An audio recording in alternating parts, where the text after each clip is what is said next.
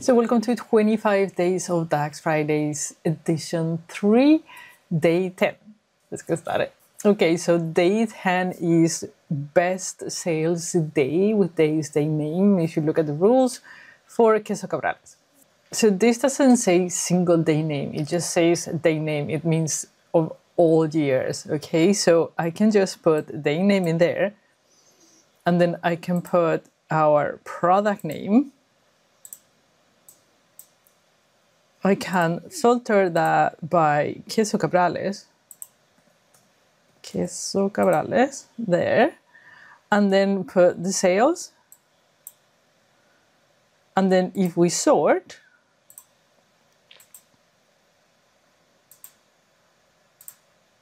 we will see that Tuesday was the day with highest sales for Queso Cabrales for all years.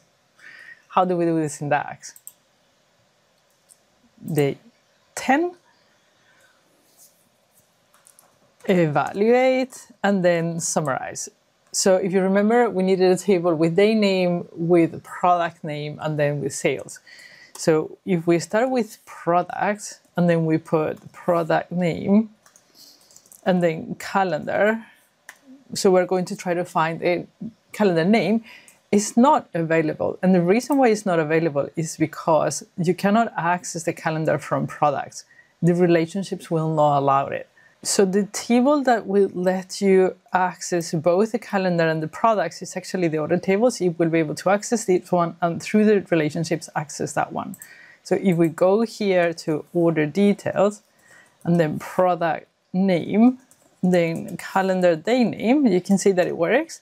Then we're going to have the sales, which is going to be the total sales after discount. And this is going to give us, for the days, all the products, all the sales. Now, we don't need all products, all sales. We'll actually need just filter sales for